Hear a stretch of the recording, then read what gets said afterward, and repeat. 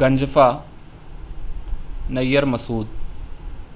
ये तो मैं अर्ज़ कर चुका हूँ कि गंजफ़े में आठ बाजियाँ होती हैं। ताज, ज़र सफ़ेद, शमशीर, ग़ुलाम, ये ऊपर की बाजियाँ कहलाती हैं। फिर नीचे की बाजियाँ हैं चंग, ज़र सुर्ख, बारात, क़माश। ज़र सुर्ख का मीर जो आफ़ताब कहलाता है पूरे खेल में सबसे अहम पत्ता है। उसके बाद ज़र सफ़ैद का मीर, जो महताब लक़ब रखता है। रुतबा ज़ाहिर है कि महताब का आफ़ताब से कमतर है, लेकिन ये बात आफ़ताब की दरख्शानी तक महदूद है। दिन को आफ़ताब जिस खेलने वाले के पास हो, वो बाजी को शुरू करता है, और आफ़ताब के ज़िलों में महताब एक कम कीमत बल्कि बेकीमत पत्ता होता है।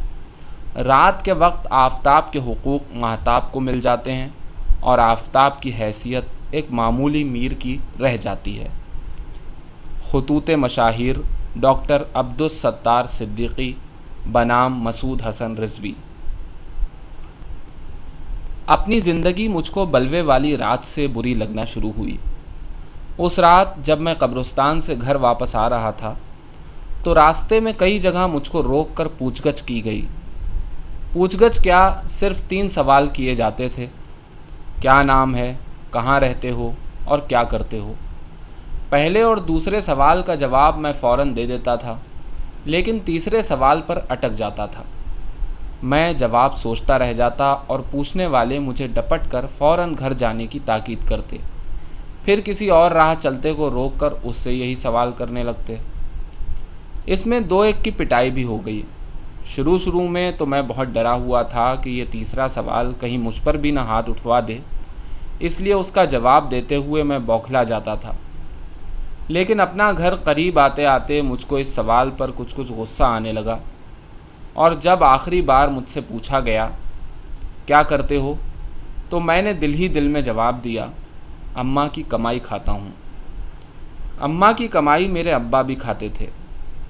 दमे की बीमारी और लॉटरी के शौक़ ने उन्हें किसी काम का न रखा था। मैंने उन्हें पड़े पड़े खांसने या लॉटरी के टिकट फाड़ फाड़ कर फेंकने के सिवा कुछ करते नहीं देखा था। घर का खर्च अम्मा चिकन की कढ़ाई करके चलाती थी। अम्मा ही ने मुझे तालीम भी दिलवाई, जिसके दौरान उनको शायद ये ख्याल सताने लगा कि कहीं अब्बा का रोग मुझे भी ना लग जाए। इसलिए उन्होंने मुझको आगे पढ़ने के लिए अपनी एक मुँह बोली बहन के यहाँ इलाहाबाद भेज दिया। मुझको यकीन है कि वो उन बहन को हर महीने मेरे ख़र्च के अलावा ऊपर से भी कुछ भेजती थी। मेरे इलाहाबाद जाने के दूसरे तीसरे साल अब्बा की वफ़ात हो गई थी, लेकिन मेरी तालीम इलाहाबाद ही में पूरी हुई। जिसके बाद मैं लखनऊ वापस आ गया और अपने मरहूम बाप की तरह अम्मा की कमाई खा रहा था। काम अगर कुछ करता था तो बस इतना कि जुमेरात जुमेरात अब्बा की कब्र पर शमा जला आता था, लेकिन मैं अपनी ज़िंदगी से खुश था। बलवे की उस रात इस तीसरे सवाल का जवाब देते देते मैंने अपनी ज़िंदगी को, जिससे मैं खुश था, बार बार लेकिन हर बार एक ही तरह से गुज़रते हुए देखा और आखिर मुझको अपने आप पर गुस्सा और अपनी अम्मा पर तरस आने लगा। जो उस वक्त और बढ़ गया, गुस्सा भी और तरस भी। जब घर के दरवाज़े पर पहुंचकर पड़ोसियों से मुझको मालूम हुआ कि अम्मा बलवे की खबर मिलते ही बुरका ओढ़ कर मुझे ढूँढने निकल गई थी और अभी तक वापस नहीं आई हैं। उन्हें रोकने की बहुत कोशिश की गई थी, लेकिन उन्होंने किसी की नहीं सुनी। मुझे ख्याल आया कि उनसे भी पूछा जा रहा होगा, क्या नाम है? कहाँ रहती हो? क्या करती हो? मैं उसी वक्त उनकी तलाश में जा रहा था, लेकिन पड़ोसियों ने मुझे ज़बरदस्ती रोक लिया। अम्मा सबको कसम दे गई थी कि अगर मैं उनकी वापसी से पहले घर पहुँच जाऊँ और उनको ढूँढने के लिए फिर निकलने लगूं तो मुझे जाने न दिया जाए। पड़ोसी मुझसे बलवे का हाल पूछ रहे थे, लेकिन मैंने ये कहकर उन्हें टाल दिया कि मुझे कुछ नहीं मालूम। और सच्ची बात भी यही थी मुझको अम्मा की फ़िक्र लग गई थी और मैं पड़ोसियों के रोकने से रुकने वाला नहीं था। लेकिन सिर्फ़ ये सोच कर रुक गया कि अगर मेरे चले जाने के बाद अम्मा वापस आईं तो फिर मेरी तलाश में निकल खड़ी होंगी। इसलिए मैं घर के अंदर आ गया। दालान में चौकी पर मेरा खाना सीनी से ढका रखा था और एक पड़ोसन उसके पास बैठी मेरा इंतज़ार कर रही थी। अम्मा उनको भी कसम देकर गई थी कि मेरे आते ही मुझको खाना खिला दें। मैंने पड़ोसन को रुख्सत कर दिया। खाने को दिल नहीं चाह रहा था, लेकिन भूख भी बहुत लग रही थी। हाथ मुँह धोकर सीनी के पास बैठ गया। उसी वक्त अम्मा आ गईं। उनको बाहर ही पड़ोसियों से मालूम हो गया था कि मैं सही सलामत घर पहुँच गया हूँ। फिर भी वो घर के अंदर इस तरह बैन करती हुई दाखिल हुई, जैसे मेरी लाश देखने के लिए लाई जा रही हूँ। और मेरे पास पहुंचकर उन्होंने वो सब किया जो कोई माँ अपने खोए हुए बेटे को पाने के बाद कर सकती है। उस वक्त मुझको अंदाज़ा हुआ कि वो अब तक मुझको छोटा सा बच्चा समझती हैं, जो माँ की उंगली पकड़कर चलने का आदि हो। उसी वक्त मुझको ये भी एहसास हुआ कि मैं बहुत बड़ा हो चुका हूँ और क्या करते हो का मेरे पास एक ही जवाब है। मुझे खाना खिलाने से लेकर बिस्तर पर लेटाकर थपकना शुरू करने तक वो बार बार मुझको उसी तरह छू कर देखती रहीं। जैसे उन्हें यकीन ना आ रहा हो कि मैं पूरे हाथ पैर लेकर घर वापस आया हूँ। अब मैं चुपचाप लेटा हुआ था, नींद आ चली थी और अम्मा करीब बैठी मुझे देखे जा रही थी। देर के बाद उन्होंने पूछा, क्या हुआ? कुछ नहीं, मैंने जवाब दिया। क्यों? रास्ते में कुछ हुआ तो नहीं, कुछ भी नहीं, मैंने कहा। क्यों पूछ रही हो? किसी ने कुछ कहा? नहीं तो? वो इसी तरह मुझे देखती रहीं, फिर बोली, अब से हम तुम्हें बाहर नहीं निकलने देंगे। तब मैंने कहा, अम्मा, अब से मैं तुम्हारी कमाई नहीं खाऊँगा। उसी रात अम्मा पर खांसी का पहला दौरा पड़ा। मैंने अम्मा को बताए बगैर काम की तलाश में निकलना शुरू कर दिया, लेकिन मुझको यही खबर नहीं थी कि काम किस तरह तलाश किया जाता है। इसलिए पहले की तरह आवारा गर्दी करके वापस आ जाता था। और कुछ दिन बाद घर से निकलते वक्त मुझे ये भी याद नहीं रहता था कि काम ढूँढने निकल रहा हूँ। लेकिन अब आवारा गर्दी में मेरा दिल नहीं लगता था। रफ्ता रफ्ता घर से मेरा निकलना कम हो गया, बल्कि यूँ कहना चाहिए कि बढ़ गया। इसलिए कि अब मैं दिन में कई कई बार निकलता था, लेकिन थोड़ी ही देर बाद घर वापस आ जाता था। फिर निकलता, फिर वापस आ जाता। उसी ज़माने में एक दिन मैंने अम्मा को देखा कि बहुत बारीक सफ़ेद कपड़े का एक पार्चा आँखों से करीब करीब लगाए हुए, उस पर सफ़ेद धागे से एक नाजुक सी बेल काढ़ रही हैं। मैं उनके पास चौकी पर बैठ गया और बोला, अम्मा, कपड़ा आँखों के इतने करीब करके ना काढ़ा करो, निगाह कमज़ोर हो जाएगी। वो तो कमज़ोर हो ही गई है बेटे, उन्होंने कहा। फिर उन पर खांसी का हल्का सा दौरा पड़ा। खांसने भी बहुत लगी हो। खांसी तो आती जाती रहती है, वो बोली, मगर रात को सांस जो फूलती है तो कोई दवा? दवा है, उन्होंने कहा, खाते हैं, फ़ायदा भी है, लेकिन उन्हें फ़ायदा नहीं हो रहा था, या शायद वो दवा खाती ही नहीं थी। मैंने एक दिन उनको फिर टोका, अम्मा, तुम्हारी खांसी कम नहीं हो रही है। कम तो हो गई है, बस रात को ज़्यादा आती है, उन्होंने बताया। फिर कुछ रुक कर पूछा, तुम्हारी नींद तो नहीं ख़राब होती? मेरी नींद नहीं ख़राब होती थी, लेकिन एक रात कोई ख्वाब देखकर मेरी आँख खुल गई। अंधेरा था और मैं उस ख्वाब को भूल गया था। मैंने उसे याद करने की कोशिश की, नहीं याद आया। मैंने करवट बदल ली और दोबारा सोने को था कि मुझे अम्मा के खांसने की दबी दबी आवाज़ सुनाई दी। मुझको नींद का एक झोंका आया, फिर एक और लेकिन खांसने की आवाज़ मुसलसल सुनाई दे रही थी। मैंने आँखें पूरी खोल दी और कानों पर ज़ोर दिया। आवाज़ बाहर सहन की तरफ़ से आ रही थी। मैं उठकर बैठ गया। सहन में तारों की हल्की सी रोशनी थी, लेकिन अम्मा मुझे नज़र नहीं आ रही थी। अम्मा, मैंने पुकारा, अंगनाई में क्या कर रही हो? जवाब में सिर्फ़ खांसी की आवाज़ सुनाई दी। मैं उठकर सहन में आ गया। अम्मा कुएँ के पास ज़मीन पर बैठी हुई थी। मैंने करीब जाकर उन्हें पुकारा, फिर झुक कर देखा। वो अपने दुपट्टे के एक पल्लू का कोना सा मुँह पर रख कर खांस रही थी और उनका बदन बार बार झटके खा रहा था। मैं उनके करीब बैठ गया। इतनी देर से खांस रही हो, मैंने कहा। मुझे जगाया भी नहीं। वो जवाब देने की हालत में नहीं थी। मैं उन्हें पकड़कर दालान में ले आया और बिस्तर पर बिठाकर उनकी पीठ सहलाने लगा। देर में उनकी सांस ठहरी। उन्होंने पानी मांग कर पिया। फिर बोली, तुम क्यों उठ गए? ख्वाब देखा था। मैंने जवाब दिया, फिर वो ख्वाब मुझे कुछ कुछ याद आने लगा। सो जाओ, वो बोली, हम भी सो जाएँगे। मैंने देखा था कि मैं खाना खा रहा हूँ और तुम सामने बैठी मुझे पंखा जल रही हो।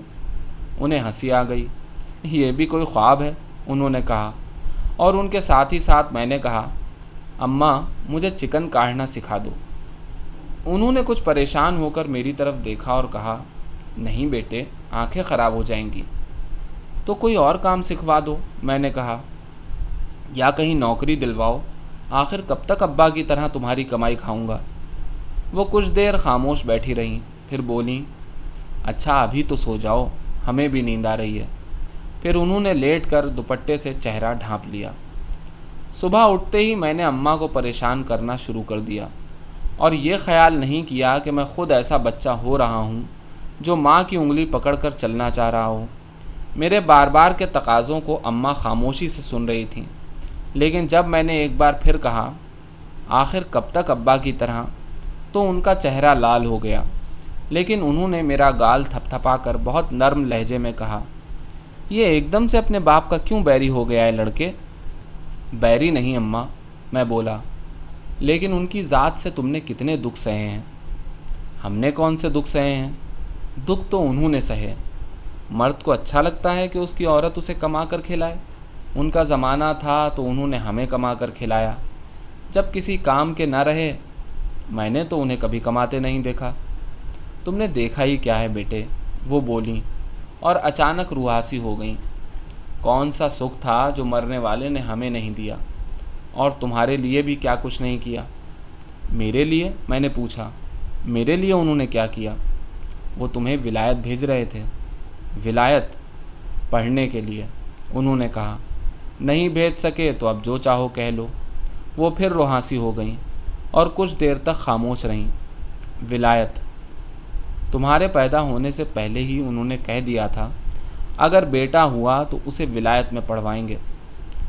विलायत, तुम्हें पता है विलायत कहाँ है? मैंने पूछा। मुझे क्या खबर? वो बोली। वही बताते थे, सात समुंदर पार कोई कॉलेज वालेज है। उन्हें पता भी था विलायत जाकर पढ़ने में कितना खर्च बैठता है। पता क्यों नहीं था? कितनों से पूछ पूछ कर तो हिसाब लगाया था। कितना निकला? मुझे क्या खबर कितना निकला? मगर बहुत था। फिर फिर क्या अल्लाह के बंदे ने हिम्मत नहीं हारी? पहले तो रुस्तम नगर और शाहगंज वाले मकान बेचे। दो दो मकान बेच डाले।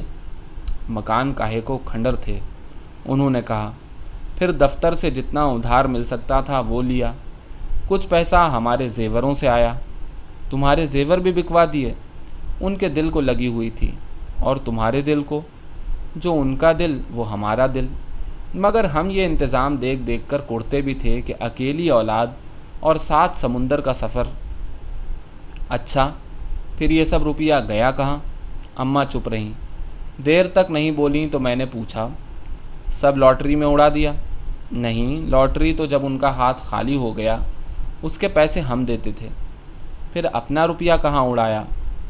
न उन्होंने बताया, न हमने पूछा। लेकिन इतनी बात हम जानते हैं, वो किसी बुरे फेल में नहीं थे। इसके बाद वो इस तरह खामोश हुई कि उनसे कुछ पूछना भी मुझे अच्छा नहीं मालूम हुआ।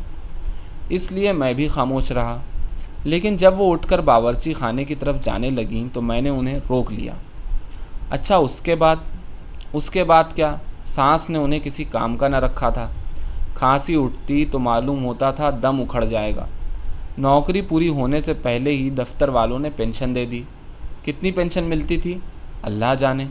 हमें तो उसकी सूरत देखने को मिली नहीं। पेंशन भी उड़ा डालते थे।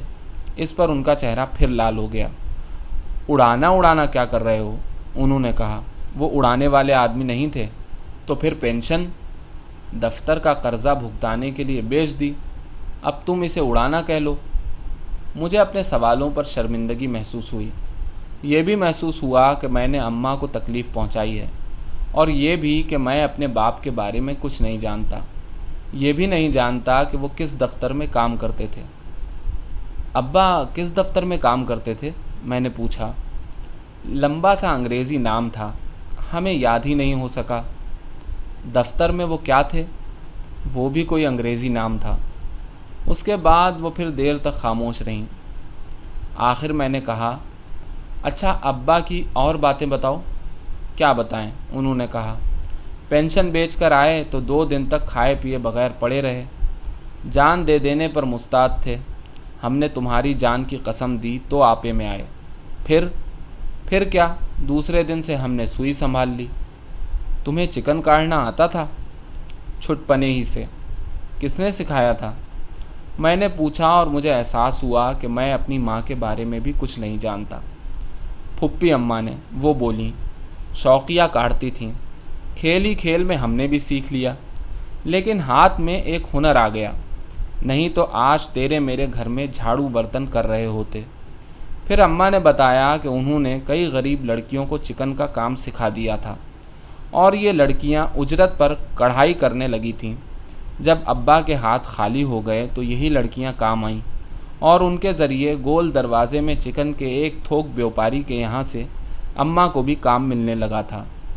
अम्मा ने व्यापारी की तारीफ़ की। लाला भले मानस हैं, अच्छे काम की पहचान है। कोई काम बहुत पसंद आ जाता है तो अपनी तरफ़ से बढ़ाकर मजदूरी देते हैं। फिर उन्होंने कोई और ज़िक्र छेड़ दिया और बहुत देर तक इधर उधर की बातें करती रहीं। उस दिन से पहले मुझे अंदाज़ा नहीं था कि अम्मा इतनी अच्छी गुफ्तगु कर लेती हैं। उनकी बातों में खोकर मैं भूल ही गया कि हमारी गुफ्तगु कहाँ से शुरू हुई थी, लेकिन अम्मा नहीं भूली थी, इसका मुझे यकीन है। दो, मैंने घर से निकलना और भी कम कर दिया। ज़्यादातर खाली बैठा, बेध्यानी के साथ देखा करता कि अम्मा चौकी पर बैठी कढ़ाई कर रही हैं और कुछ कुछ देर बाद खांसने लगती हैं। कभी कभी उन पर खांसी का दौरा सा पड़ जाता तो मैं दौड़ कर उन्हें पानी पिला देता। या उनकी पीठ सहलाने लगता। थोड़ी देर में वो ठीक हो जाती और फिर सुई संभाल लेती। एक दिन उनकी पीठ सहलाते सहलाते मेरी नज़र उनके पहलू में रखे हुए पार्चों के ढेर पर पड़ी और मैंने कहा, अम्मा, इतना काम न किया करो। मोटा काम है, उन्होंने कहा, इसमें देर ही क्या लगती है? मैंने एक बार फिर खुरदुरे रंगीन कपड़े के पार्चों को देखा। ये भी देखा कि अम्मा ने उन पर रंगीन धागों से बड़े बड़े फूल काढ़े हैं। मैं उनको बहुत मुलायम और बारीक कपड़े पर सफ़ेद धागे से कढ़ाई करते देखता आया था। मैंने एक गेरवे रंग का कढ़ा हुआ पारचा उठाकर कहा, ये कैसी कढ़ाई है?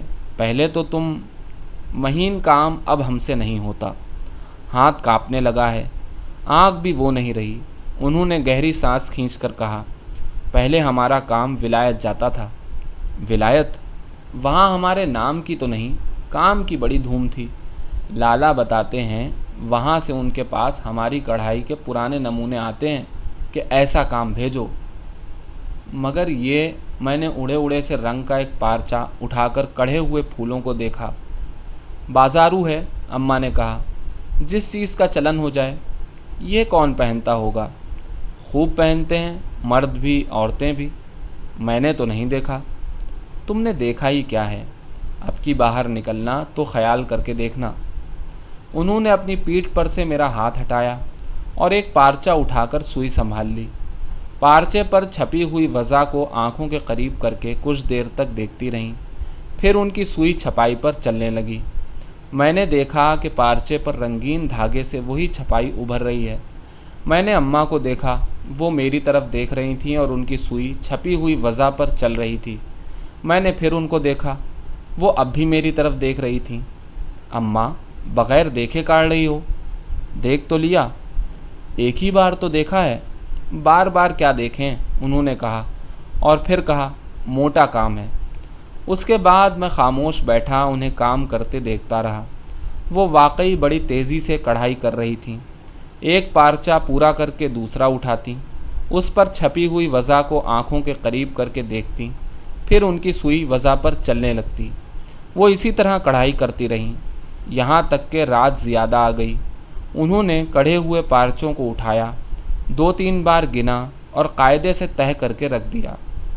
फिर बग़ैर कढ़े हुए पार्चों को उठा कर गिना और कुछ देर तक मेरी तरफ़ देखती रहीं। फिर बोली, नींद नहीं आ रही है?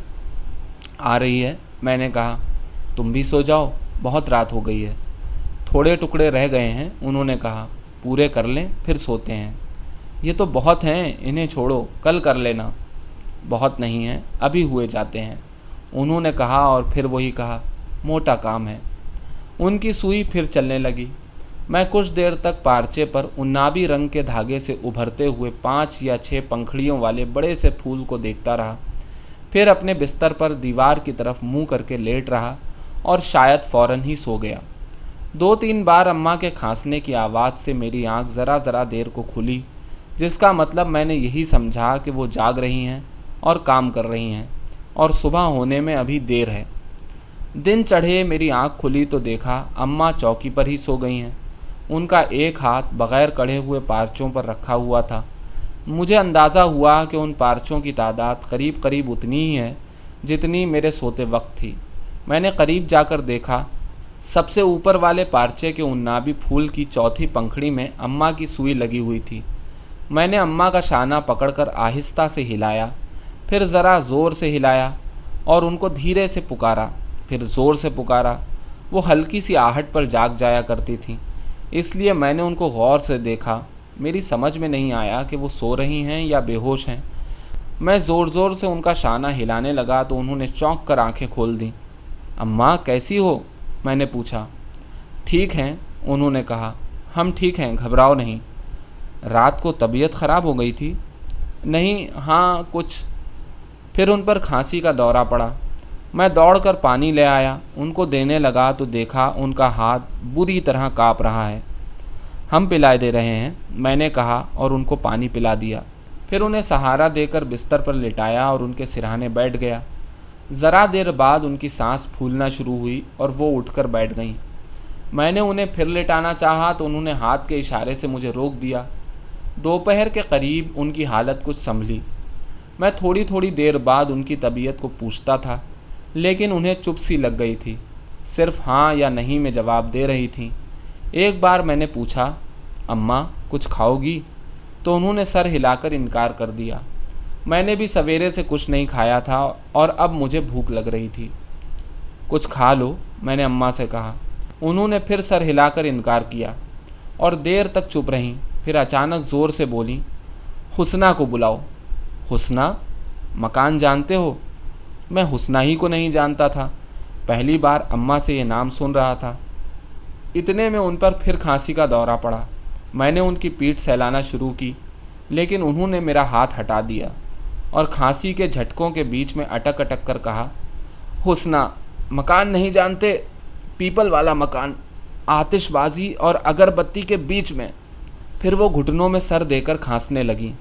मेरी समझ में नहीं आ रहा था कि उनको इस हालत में छोड़कर किस तरह जाऊँ। लेकिन जब उन्होंने सर उठाकर मुझे देखा और पहले से भी ज़्यादा ज़ोर से बोली, तुम गए नहीं?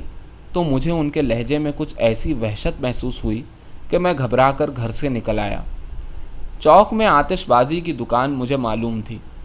लड़कपन से उसे देखता आ रहा था, लेकिन ये मुझको नहीं मालूम था कि उसके पास अगरबत्ती की दुकान और दोनों दुकानों के बीच में कोई गली भी है। खासी चौड़ी गली थी और दूर तक इधर उधर मूर्ति चली गई थी। दोनों तरफ़ मकान बहुत थे, लेकिन सब के सब खंडर हो रहे थे। गली शायद इन गिरे पड़े मकानों की वजह से चौड़ी मालूम होने लगी थी। दरख्त कोई नज़र नहीं आता था मैं गली के मोड़ों के साथ आगे बढ़ता गया। आखिर दो मकानों के पीछे से पीपल की फंगी झांकती दिखाई दी। कुछ देर बाद मैं ढीली ढीली ईंटों वाली एक चौड़ी दीवार के सामने खड़ा था।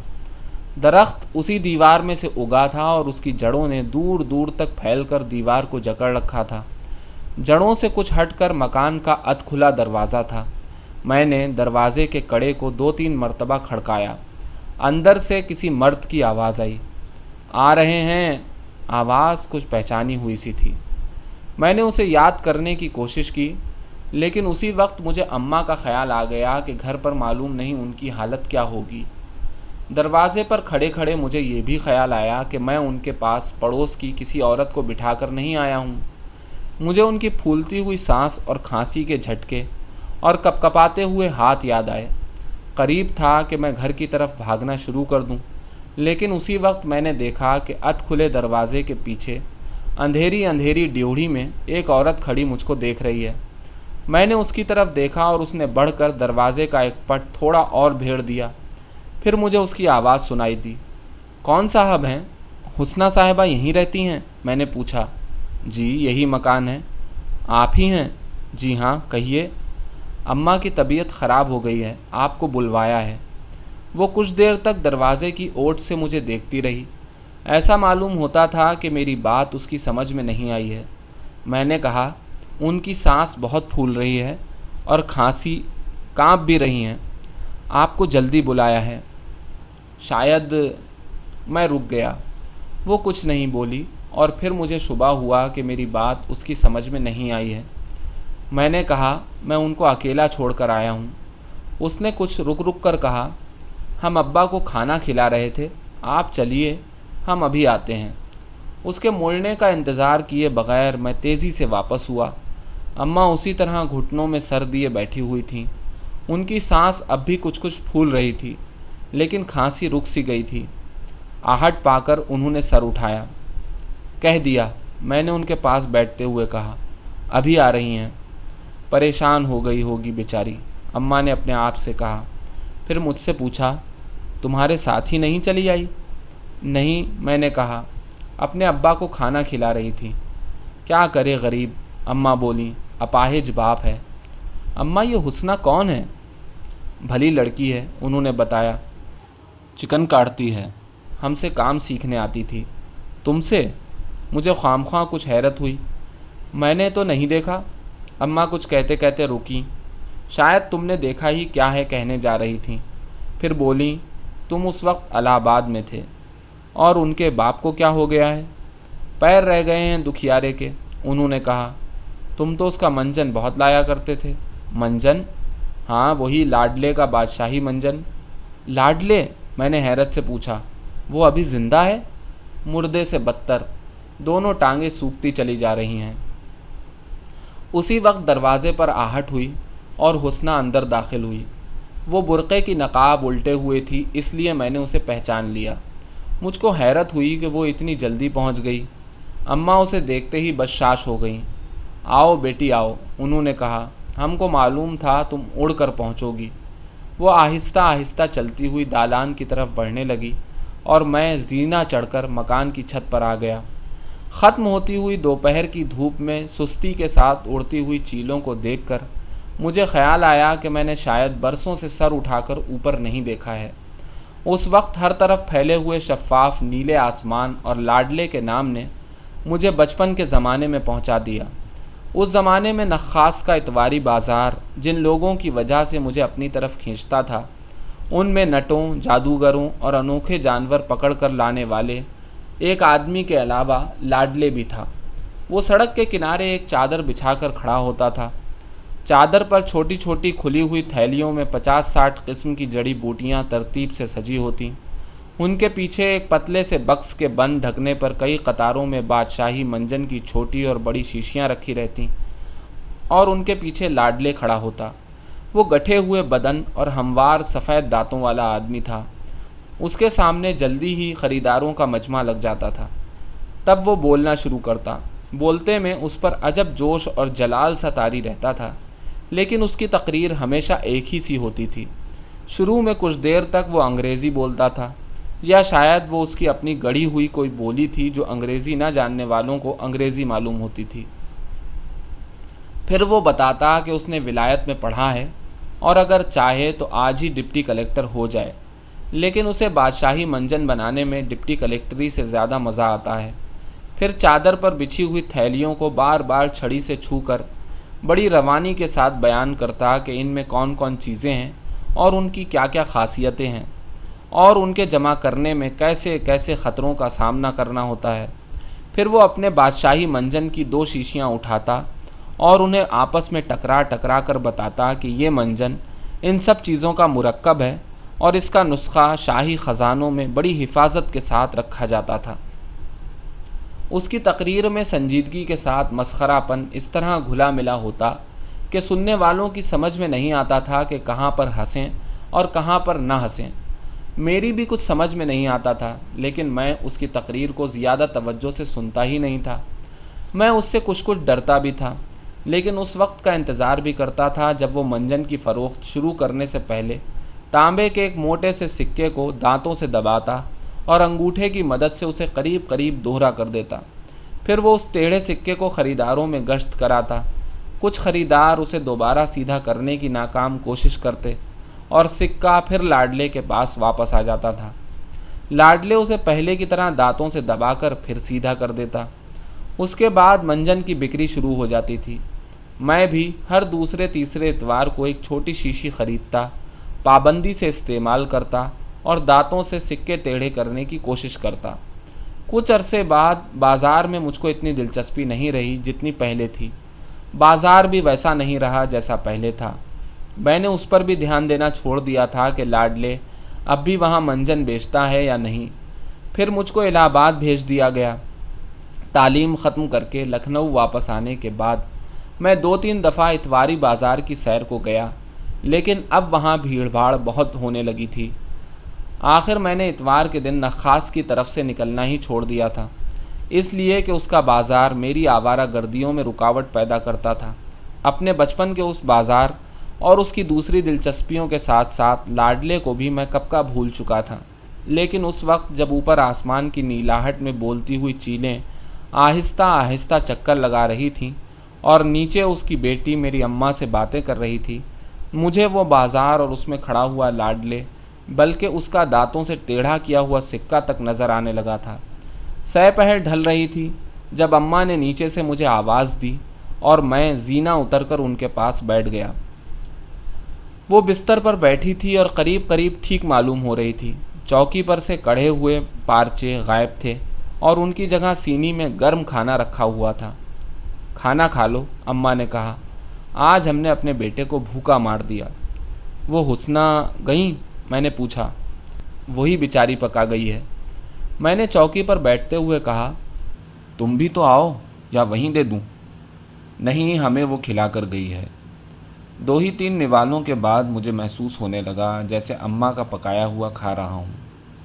आखिर मुझसे रहा नहीं गया और मैंने अम्मा से पूछा, हुसना को खाना पकाना भी तुम्ही ने सिखाया है? तुमने खूब पहचाना, अम्मा खुश होकर बोली। हाँ जब हमसे काम सीखने आती थी, हमने कहा, बेटी, हांडी चूल्हा भी करना सीख लो। और उन्होंने फिर कहा, मगर तुमने पहचाना खूब। क्यों? अपनी अम्मा का हाथ मैं हज़ार खानों के बीच में भी पहचान सकता हूँ। अम्मा धीरे से हँसी, फिर उन्हें कुछ याद आ गया। हाँ ये बताओ, हुसना से तुमने क्या कहा था? बता दिया था तुम्हारी तबीयत ख़राब है। और? और ये भी बता दिया था कि तुमने बुलाया है? और अपना आता पता बताए बगैर भाग खड़े हुए। मुझे अपनी गलती का एहसास हुआ। हाँ अब तुमने कहा तो याद आया, मैं बोला। उन्होंने पूछा ही नहीं, मुझे भी वापस आने की जल्दी थी। ऐसी भी क्या बदहवासी लड़के? तो फिर वो किस तरह खुद ही तुम्हें पहचाना और चली आई? ऐसा मालूम होता था कि अम्मा ने मुझसे एक सवाल सुनने के लिए ये बात छेड़ी है। इसलिए मैंने वो सवाल कर दिया। मगर उन्होंने किस तरह मुझको पहचान लिया? तुम्हारे कुर्ते से। अम्मा ज़रा फ़ख्र के साथ बोली, मैंने अपने कुर्ते को देखा, वो पुराना हो चुका था। लेकिन अम्मा ने अपने हाथ से उस पर बहुत गुंजान बेल काढ़ी थी, जिसका एक टाका भी अब तक अपनी जगह से नहीं हिला था। मैंने बेल पर हाथ फेरा और कहा, तुम्हारे हाथ की कढ़ाई पहचान ली। लेकिन उन्होंने ये किस तरह समझ लिया कि मैं मगर अपना सवाल पूरा करने से पहले पहले उसका जवाब मेरी अक्ल में आ गया। मेरी हैसियत का आदमी ऐसी कढ़ाई का कुर्ता सिर्फ़ इस सूरत में पहन सकता था कि वो काढ़ने वाली का बेटा हो। ये सबकी समझ में आने वाली बात थी उसना की समझ में भी आ गई। अम्मा ने गौर से मेरी तरफ़ देखा, कुछ कहने को हुई, फिर रुक गई। मैंने खाना ख़त्म कर लिया तो बोली, बर्तन कुएँ पर रख दो, हम धो देंगे। नहीं, हम धोए देते हैं, मैंने उठते हुए कहा। तुम्हारे बर्तन कहाँ हैं? वो धोकर रख गई है, अम्मा ने बताया। और सुनो, मैं कुएँ की तरफ़ जाते जाते रुका। क्या कह रही हो? कल दोपहर को वो आएगी, तुम घर ही पर रहना। क्यों? उसे तुमसे कुछ काम है। मुझसे? हाँ कुछ पढ़वाना है। हुसना दोपहर के कुछ बाद अम्मा के पास आई। मैं उठकर कुएँ की तरफ़ चला गया। वो दोनों देर तक दालान में कुछ बातें करती रहीं। फिर अम्मा ने मुझे आवाज़ दी। वो बिस्तर पर लेटी हुई थी। हुसना उनके सिरहाने की तरफ़ बैठी थी। मेरी ही हम उम्र या मुझसे कुछ छोटी मालूम होती थी। नाक नक्शा दुरुस्त था। सूरत में हल्की सी शबाहत बाप की भी थी। ये सब मैंने एक नज़र में देख लिया। फिर चौकी पर रखे हुए पार्चों को एक तरफ़ हटाकर बैठ गया।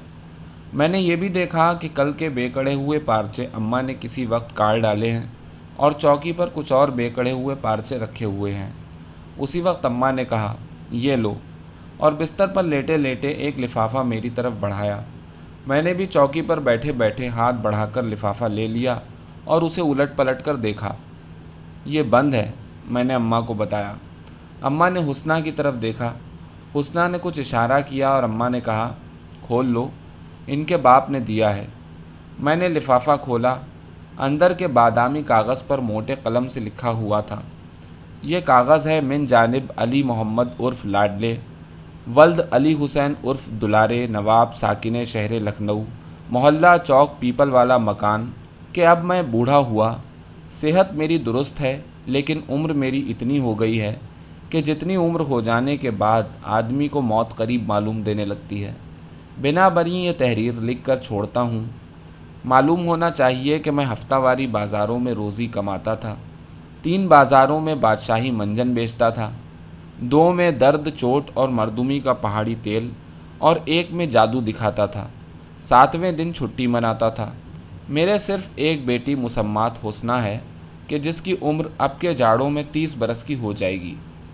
वो पंद्रह बरस की हो रही थी कि मेरी टांगें बेकार हो गईं और अब पंद्रह बरस से चिकन काढ़ काढ़ कर वही मुझको खिला रही है। वो मेरी इकलौती औलाद है इसलिए अजरुए कानून मेरे बाद मेरा सब कुछ उसी का है। लेकिन ये जो तहरीर मैं लिख कर छोड़ रहा हूँ, इसका मकसद ये बताना नहीं, बल्कि ये इजहार करना है कि मेरा वो सामान जो लकड़ी वाले संदूक में है, उसमें से मेरी बेटी को कुछ ना दिया जाए।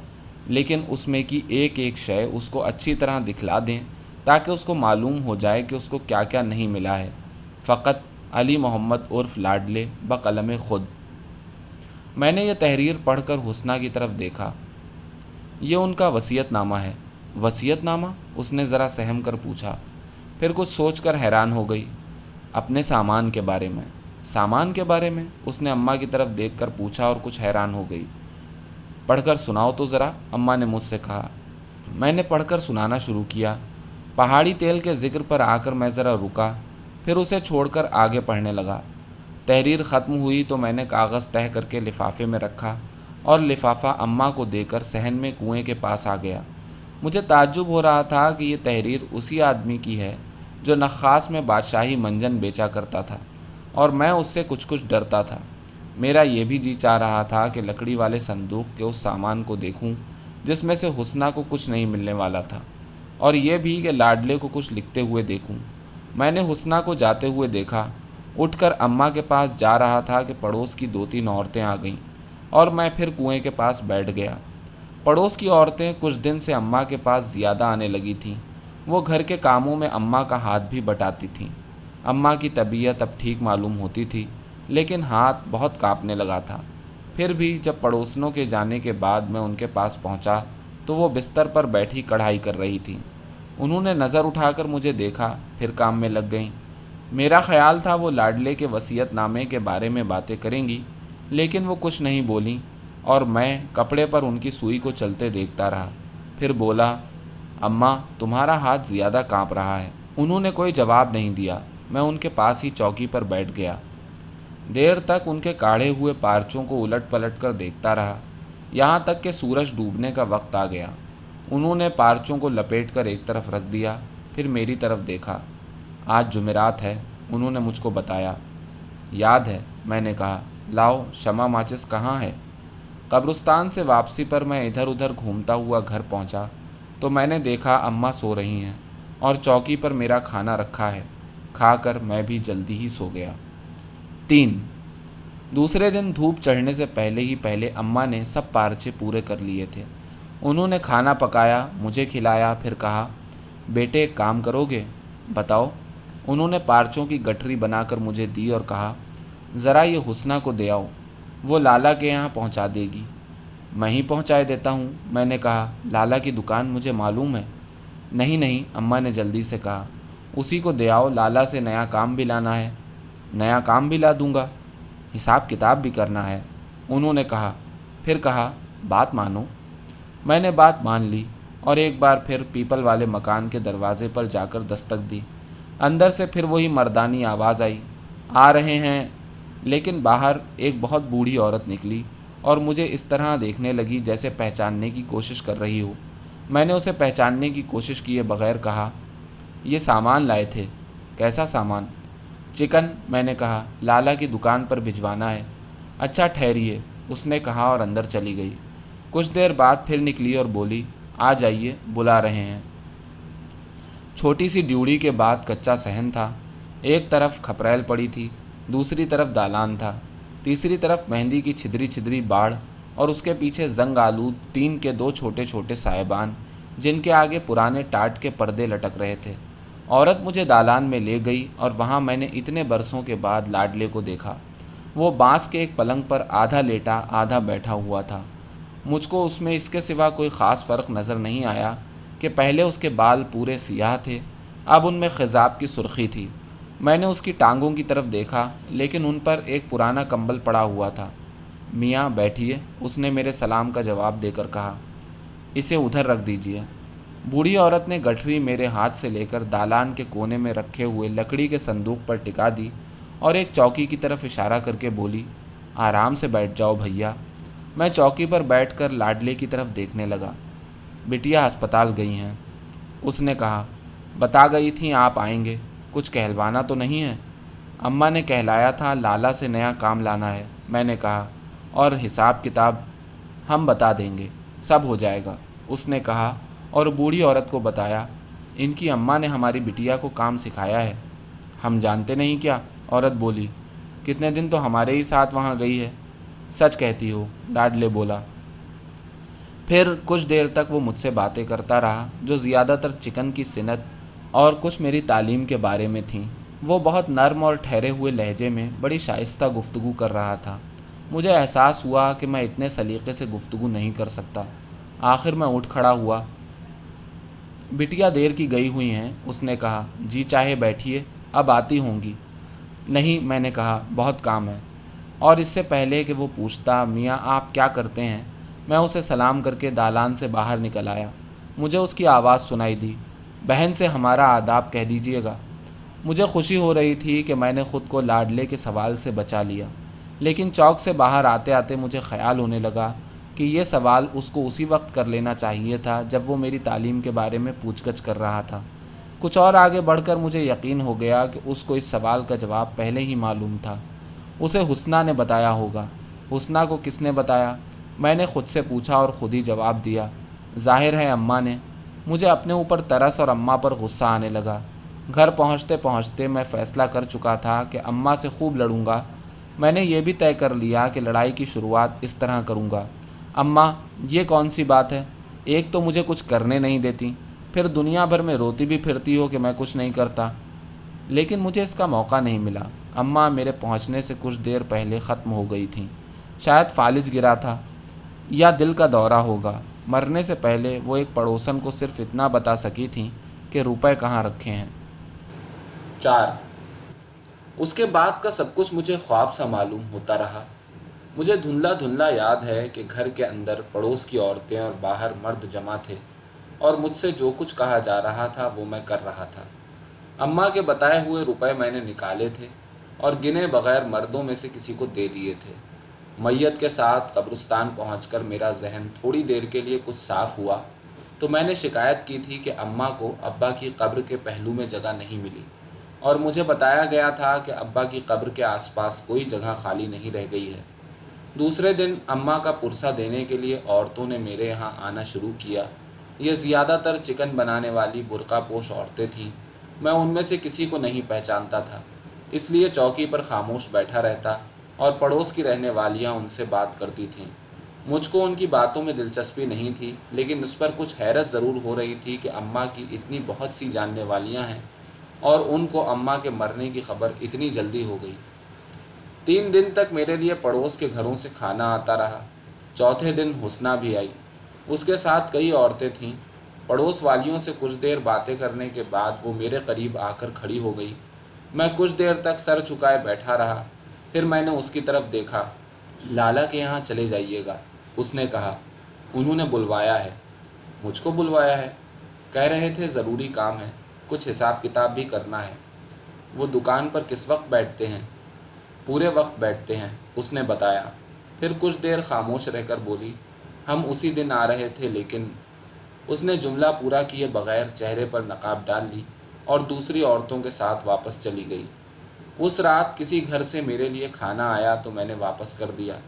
मुझे याद आया कि अम्मा के मरने के दिन मैंने उनके रुपए निकाल कर मोहल्ले के किसी आदमी को दे दिए थे और कब्रिस्तान से वापसी पर उसने बचे हुए रुपए मुझे लौटा दिए थे। उसने खर्च का हिसाब भी बताया था जो मैंने सुना नहीं। अब खाना वापस करने के बाद मैंने तकिए के नीचे से वो रुपए निकाले और उन्हें गिनना शुरू किया था कि एक पड़ोसन मेरा वापस किया हुआ खाना लेकर आ गई। उन्होंने मुझे गोदियों में खिलाया था और मैं उनको खाला कहता था। बलवे वाली रात अम्मा उन्हीं खाला को कसम देकर गई थी कि मुझको खाना खिला दें। उस वक्त ख़ुद वो खाला मुझको कस्में दे रही थी कि खाना खा लूँ। मैं कह रहा था कि मैं बाज़ार में खा लिया करूँगा और वो बाज़ार के खाने को जहर बता रही थी। देर तक मेरी उनकी बहस होती रही। आखिर मैंने तकिए के नीचे से निकाले हुए रुपए उनके हाथ में दे दिए। और किसी तरह उन्हें राज़ी कर लिया कि आइंदा मेरे खाने का इंतज़ाम मेरे ही पैसे से करें। वो मुझको खाना खिलाकर वापस गईं और अम्मा के मरने के बाद पहली मर्तबा मैंने कुछ राहत महसूस की, जिसकी वजह से अम्मा का गम भी मुझे पूरी तरह महसूस होने लगा। दूसरे दिन मैं लाला के यहाँ गया। दो दर की बड़ी दुकान थी। लाला के दो जवान लड़के दुकानदारी देख रहे थे। ग्राहकों और कारीगर मर्दों औरतों का आना जाना लगा हुआ था। बहुत साफ़ सुथरे बूढ़े आदमी थे। भवें सफ़ेद हो चली थीं। उनके सामने एक संदूकचा और उसके ऊपर कागज़ों का पुलंदा रखा हुआ था, जिसे वो उलट पलट रहे थे। मैं उनके सामने जाकर खड़ा हो गया। कुछ देर बाद उन्होंने सर उठाकर मुझे देखा। मैंने उन्हें सलाम किया और कहा, आपने बुलवाया था? लाला ने दो तीन बार मुझे सर से पैर तक देखा, फिर बड़े तपाक से बोले, आओ भैया, आओ, इधर निकल आओ। मैं उनके करीब ही तख्त के कोने पर बैठ गया। उन्होंने बताया कि अम्मा की खबर उनको हुसना से मिली। फिर बोले, क्या बताएँ भैया, हमारे तो समझो हाथ कट गए। उसके बाद वो देर तक अम्मा की बातें और उनके काम की तारीफ़ें करते रहे। उन्होंने अम्मा की बीमारी और कफन दफन की तफसील भी पूछी। फिर कागज़ों की तरफ़ मुतवजह हो गए। कुछ देर बाद उन्होंने फिर सर उठाया और बोले हाँ हमने तुम्हें बुलवाया था। एक तो उनका हिसाब किताब करना था और ये कहते कहते उन्होंने कागज़ों को हटाकर संदूकचा खोला, कुछ रुपए निकाल कर मेरे करीब तख्त पर रख दिए और कहा यह तो उनकी आखिर दिनों की मजदूरी बाकी थी, पहले इसे रखो, गिन लो भैया। कोई बड़ी रकम नहीं थी, मैंने उठाकर गिन ली। लाला ने मुझे रुके रहने का इशारा करके रुमाल में बंधी हुई एक और रकम संदूकचे में से निकाल कर मेरी तरफ़ बढ़ाई। नहीं लाला, मैंने उठते हुए कहा, पैसे मेरे पास हैं, तुम्हारे ही पैसे हैं भैया। कोई हम अपनी तरफ़ से दे रहे हैं? लाला ने कहा, वो हमारे पास तुम्हारे नाम से जमा कराती थी। घर पर तो बचता बचाता नहीं था, मजदूरी ही में से कुछ पैसे कटवा लेती थी। मैंने रुमाल की तरफ़ देखा, फिर लाला की तरफ़। लेकिन लाला, ये ज़्यादा मालूम हो रहे हैं। थोड़ा थोड़ा बहुत हो जाता है भैया, लाला ने कहा। अच्छा आप धीरज से सुनो, हम क्या कह रहे हैं? उन्होंने रुमाल की तरफ़ इशारा किया। कुछ दिन गम गलत करो। जब ये थोड़े पड़ने लगें तो हमारे पास आ जाना। हम काम देंगे। लाला, मुझे काम नहीं आता। मैंने कहा, अम्मा ने सिखाया ही नहीं। हम सिखवा देंगे। लाला बोले, नहीं तो कुछ और काम निकालेंगे। अब तुम्हें कुछ तो करना ही करना है। भरोसे का आदमी हमें भी चाहिए होता है। फिर वो ख्यालों में खो गए। मेरी समझ में नहीं आ रहा था कि उठूं या बैठा रहूँ। इतने में लाला ने बोलना शुरू कर दिया। तमाशा रहता था। कभी हम कहें बहन साहब, बेटे को काम से लगवा दीजिए। कब तक आवारा गर्दिश करेगा? कभी वो कहें, लाला, हमारे बेटे को कहीं काम से लगवाओ। कब तक बेकार घूमेगा? हम जो काम तजवीज़ करते, उन्हें छोटा मालूम होता। हम कहते, छोटे ही काम से आदमी बड़ा होता है। हम खुद कांधे पर गट्ठर लादे, हाथ में गज़ लिए, कितने दिन गलियाँ नापते फिरे हैं। आवाज़ लगाते लगाते गला पड़ गया था। वो कहें, लाला, तुम ठीक कहते हो, लेकिन लड़के को उसका बाप विलायत भेज रहा था। अब वो गलियों में फेरी लगाएगा तो मरने वाला कब्र में चैन से सो पाएगा। देर तक लाला ऐसी ही गुफ्तगु दोहराते रहे। उन्हें शायद ज़्यादा बोलने की आदत हो गई थी। आखिर वो थक से गए और मैं उठ खड़ा हुआ। उन्होंने रुमाल उठाकर मुझको दिया। कुछ और करीब बुलाकर मेरे सर पर हाथ फेरा। फिर मेरे कुर्ते की कढ़ाई पर हाथ फेरा। अब देखने को नहीं मिलेगा ये काम, उन्होंने कहा। और उनकी गर्दन अदब से झुक गई और देर तक झुकी रही। मैं जाने के लिए मुड़ने लगा तो उन्होंने सर उठाकर कहा अच्छा भैया, जाओ, गम गलत करो। लाला के यहाँ से आने के बाद मैं अब्बा के साथ अम्मा की कब्र पर भी जुमेरात जुमेरात शमा जलाने लगा। बाकी वक्तों में आवारा गर्दियाँ करता था। उस वक्त गम गलत करने का यही एक तरीक़ा मुझे आता था। पाँच, लाला का दिया हुआ रूमाल यूँ ही बंधा का बंधा मैंने पड़ोस वाली खाला के हवाले कर दिया था। और ताकीद कर दी थी कि पैसे ख़त्म होने लगें तो याद करके मुझे बता दें। हर चौथे, पाँचवें दिन मैं उनसे पैसों को पूछता और वो यही बताती कि अभी बहुत हैं। खाने का कुछ हिसाब भी बताती और आखिर में ये ज़रूर कहती थी, चूंटी के अंडे भर तो तुम खाते हो, तुम्हारा खर्च ही क्या? इस पर मैं हंस पड़ता, फिर घूमने निकल जाता। एक जुमेरात को मैं चौक से होकर घर आ रहा था। बाज़ार बंद होने का दिन था और वहाँ मेरे देखने की कोई चीज़ नहीं थी। लेकिन आतिशबाजी की दुकान के पास से गुज़रते हुए मेरे कदम रुकने लगे। बंद दुकान के पटरे पर पैर नीचे लटकाए हुए लाडले अकेला बैठा था। मेरा ख्याल था वो मुझे पहचान नहीं सकेगा, इसलिए आगे बढ़ा जा रहा था। लेकिन उसने मुझको देखा तो कुछ इस तरह गर्दन हिलाई कि मुझे रुक जाना पड़ा। मैंने उसे सलाम किया और पूछा, आप कैसे हैं? बस उसने जवाब दिया, फिर अपनी टांगों की तरफ़ इशारा किया। पटरे के ऊपर बैठा हुआ वो भारी भरकम आदमी मालूम होता था, लेकिन कमर के नीचे उसकी टांगें सूखी हुई लकड़ियों की तरह लटक रही थीं। अम्मा उसकी हालत मुझे बता चुकी थी, लेकिन फिर भी उस वक्त उसको देखना एक तकलीफ़ दे काम मालूम हो रहा था। मेरी समझ में ना आया उससे क्या कहूँ, इसलिए खामोश खड़ा उसके चेहरे को देखता रहा। वो पटरे के सहारे खड़ी हुई अपनी मोटी सी लाठी को घूर रहा था। बहन का मालूम हो गया था। कुछ देर बाद उसने कहा बहुत जी चाहता था उनको कब्र तक तो पहुँचाऊँ। नहीं, ऐसी हालत में आप कहाँ जाते? उनके हम पर बड़े एहसान थे। उसने कहा, फिर अचानक वो सवाल कर दिया, मियाँ, अब आप क्या करते हैं? अब पूछ रहे हो, लाडले। मैंने दिल में कहा और सफ़ाई के साथ झूठ बोल दिया, लाला के यहाँ काम कर रहा हूँ। मैंने यहाँ तक सोच लिया था कि अगर वो पूछेगा तो उसे ये भी बता दूँगा कि क्या काम कर रहा हूँ। मगर उसने पूछा, घर में आप क्या करते हैं? घबराता हूँ, मैंने जवाब दिया। इसीलिए दिन भर इधर उधर घूमता रहता हूँ। हाँ कुछ तो जी बहल जाता होगा। उसने कहा और ये नहीं पूछा कि अगर दिन भर घूमता हूँ तो लाला के यहाँ काम किस वक्त करता हूँ? आप कैसे हैं? मैंने पूछा। हम तो वैसे ही हैं। लेकिन बिटिया चली गई। उसने कहा और गर्दन झुका ली। उसकी बात फ़ौरन मेरी समझ में नहीं आ सकी। लेकिन मेरे कुछ पूछने से पहले उसने खुद ही बता दिया। यरकान हो गया था। मैं उसके पास दुकान के पटरे पर बैठ गया। ये कब? मैंने पूछा। मुझे खबर ही नहीं हुई। कौन खबर करता? उसने कहा और चुप हो गया। मैं उससे बहुत कुछ पूछना चाहता था, लेकिन मेरी समझ में नहीं आ रहा था कि क्या पूछूँ। इसलिए मैंने यही मुनासिब समझा कि कुछ देर उसके पास बैठूं, फिर रुखसत हो जाऊँ। उसने मुझे उठते देखा, कुछ कहना चाहा, फिर रुक गया। फिर कुछ कहना चाहा, फिर रुक गया। मैं भी जाते जाते रुक गया। क्या बात है? मैंने पूछा। वो कुछ देर तक नाखून से अपनी लाठी की मोट कुरेदता रहा। फिर झिझकते झिझकते बोला, मियाँ, हमारी कुछ मदद कर दीजिएगा? ये तो होना ही था लाडले, मैंने दिल में कहा। लेकिन उस वक्त मेरी जेब खाली थी, इसलिए मैं भी झिझकते झिझकते बोला हाँ बताइए, हमारा कुछ सामान है, अपने यहाँ रख लेंगे? बस एक छोटा बक्सा है, जगह नहीं घेरेगा। ये कहते कहते वो पटरे पर से फिसल पड़ा। मैं उसे संभालने के लिए लपका, लेकिन वो अपनी दोनों कोहनियाँ पटरे पर टिकाए हुए था। उसी तरह कोहनियाँ टेके टेके उसने हाथों से लाठी पकड़ ली और बहुत धीरे धीरे झुकता हुआ ज़मीन पर उकड़ू बैठ गया। मेहंदी से रंगा हुआ सर, सूखे हुए घुटनों से कुछ ऊपर उठाकर उसने उकड़ू बैठे बैठे आगे सरकना शुरू किया। मैं उसके पीछे खड़ा हुआ था और देख रहा था कि उसका सर और कंधे बार बार दाहिनी तरफ़ और बाएँ तरफ़ झुकते हैं, जैसे कोई शराबी नशे में झूम रहा हो। और उसको इस तरह चलते देखना, उसे पटरे पर बैठे देखने से भी ज़्यादा तकलीफ़ दे काम था। ये शायद उसे भी मालूम था, इसलिए कि गली के दहाने में दाखिल होकर वो रुका और मेरी तरफ़ गर्दन मोड़कर बोला, आप बढ़िए, हम पहुँच रहे हैं। ये मुझे गनीमत मालूम हुआ और मैं तेज़ कदमों से चलता हुआ पीपल वाले मकान के दरवाजे पर जाकर ठहर गया।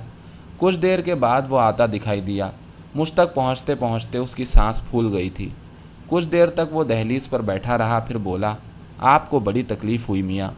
मकान का दरवाज़ा भिड़ा हुआ था। उसने एक पट को अपने कंधे से ठेला, दरवाज़ा हल्के से चरचराया और खुल गया।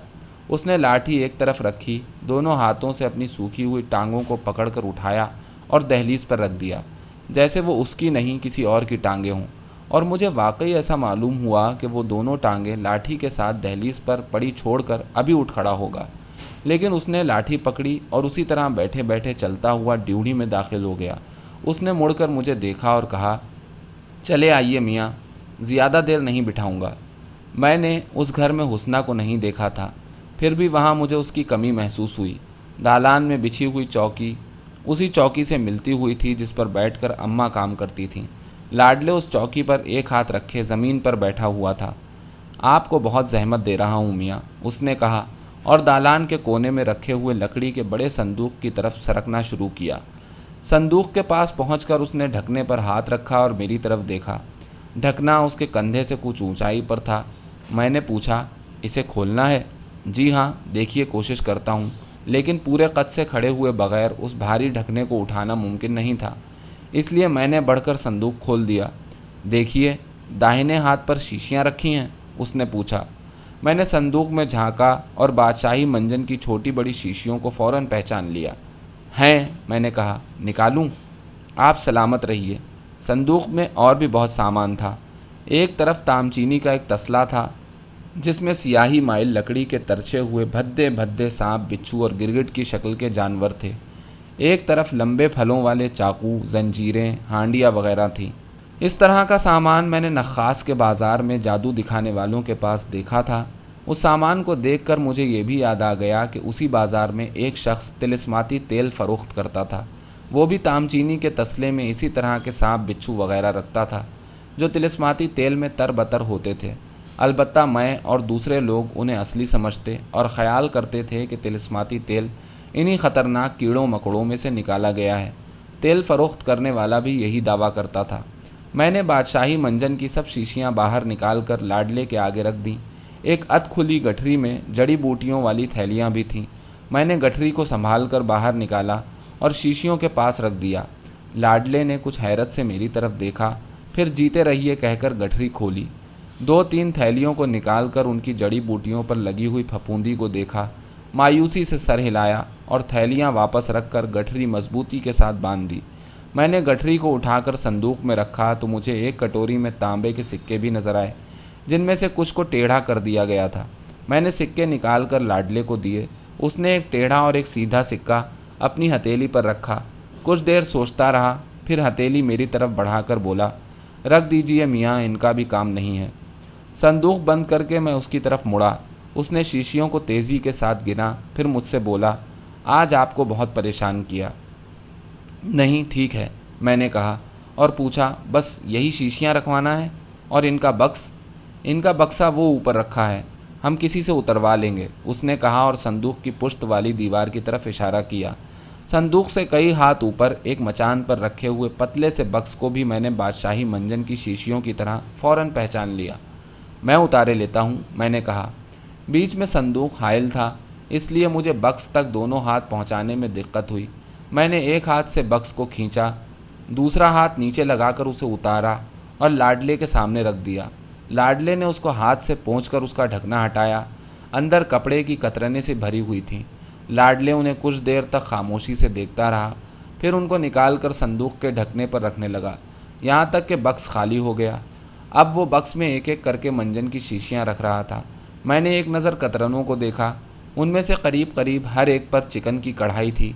मैंने एक कतरन को उठाकर देखा। सबसे ऊपर सफ़ेद धागे से एक नाजुक सा बूटा बड़ी सफ़ाई के साथ काढ़ा गया था। उसके नीचे किसी अनाड़ी हाथ ने उसी वजह के आठ दस बूटे काढ़ने की कोशिश की थी। मैंने बारी बारी कई कतरनों को उठाकर देखा। उन पर चिकन की मुख्तलिफ़ कढ़ाइयों के नमूने थे। हर कतरन पर सबसे ऊपर किसी मंझे हुए हाथ का नमूना और उसके नीचे उसकी कच्ची पक्की नकलें थीं। मैं चुपचाप उन नमूनों को देखता रहा। फिर मुझे लाडले की मौजूदगी का एहसास हुआ। वो बक्स में शीशियाँ रखकर उसका ढकना बंद कर चुका था और अब मालूम नहीं कितनी देर से मुझे देख रहा था। मैंने उसकी तरफ़ देखा तो उसने एक हाथ ऊपर उठाकर कतरनों को टटोला, फिर संदूक के ढकने को थपथपा कर बोला, अब इन्हें इसी में रख देते हैं। और इसी तरह बैठे बैठे एक हाथ से ज़ोर लगाकर उसने संदूक का ढकना थोड़ा ऊपर उठाया और दूसरे हाथ से कतरनों को उठाने की कोशिश की। आप रहने दीजिए, मैंने कहा और ढकने को थोड़ा और ऊपर उठाकर सब कतरने संदूक के उस गोशे में रख दी, जो शीशियों के हट जाने से खाली हुआ था। फिर मैं लाडले की तरफ़ मुड़ा। वो ज़मीन पर कोहनियाँ टेके, आगे को फैली हुई खुश्क टांगों के पीछे कुछ बैठा, कुछ लेटा हुआ था, और नींद में मालूम होता था। मैंने उससे पूछा, और तो कोई काम नहीं है? उसने बक्स की तरफ़ देखा और बोला, आपके घर से नखास करीब पड़ता है। हम इतवार इतवार इसे आपके यहाँ से उठा लिया करेंगे। शाम को फिर रख देंगे। लेकिन अगर आपको तकलीफ़ हो मुझे कोई तकलीफ़ नहीं होगी। तो आज शाम तक हम बक्सा आपके यहाँ पहुँचा देंगे। आप कहाँ तकलीफ़ करेंगे? मैंने कहा, मैं इसे लिए जाता हूँ। नहीं मियाँ, हमारा बोझा आप क्यों ढोइए? इसका वज़न ही कितना है? मैंने बक्स उठाते हुए कहा, मुझे पता भी नहीं चलेगा। बहुत बुरा लग रहा है मियाँ। इसमें बुरा लगने की कौन सी बात है? मैंने कहा अच्छा और तो कोई काम नहीं है। आज आपको हमने कितना हलकान किया। उसने कहा, आगे फैली हुई टांगों को दोनों हाथों से समेटा और लाठी का सहारा लेकर बैठ गया। अच्छा मैंने सहन की तरफ़ मुड़ते हुए कहा, इतवार को मैं घर ही पर रहूँगा। ठहरिए मियाँ, हम भी आ रहे हैं। मैं रुक गया। कहाँ जाना है? मैंने पूछा। आपको दरवाजे तक पहुँचा दें। नहीं, आप यहीं रहिए, मैं चला जाऊँगा। बाहर निकलकर मुझे ख्याल आया कि मैंने उसे बेटी का पुरसा नहीं दिया है। लेकिन साथ ही ये भी ख्याल आया कि उसने खुद ही मुझको पुरसे का मौका नहीं दिया। इसलिए मैं वापस नहीं हुआ। घर पर अम्मा की चौकी के नीचे उसका बक्स रखकर मैं सीधा लाला की दुकान पर पहुँचा। लेकिन जुमेरात की वजह से दुकान बंद थी। घर वापस आया और उसके बाद सिर्फ़ कब्रस्तान जाने के लिए बाहर निकला। दूसरे दिन जाकर मैंने लाला को बताया कि मेरा गम गलत हो गया है। लाला ने उसी दिन से मुझको रख लिया। मैंने काम को पूछा तो कहा, बाद में बताएँगे। इतवार को वो नहीं आया। उसके बाद वाले इतवार को भी नहीं आया। मैंने दिन भर उसका रास्ता देखा। शाम को मैं उसके मकान पर पहुँचा। दरवाजे के नीचे वाली कुंडी में कुफल पड़ा हुआ था। मैंने उसके पड़ोस वालों से पूछा तो मालूम हुआ, पिछले इतवार को सुबह के वक्त वो घर से निकलते देखा गया था। उसके बाद से वापस नहीं आया है। उसके बारे में इधर उधर कुछ पूछगछ की गई थी, लेकिन किसी की समझ में नहीं आता था कि उसे कहाँ ढूंढा जाए। उसको तलाश करने की बहुत कोशिश भी नहीं की गई। इसलिए कि ज़्यादातर पड़ोसियों को करीब करीब यकीन था कि वो किसी दूसरे शहर चला गया है। और वहाँ भीख मांग रहा होगा।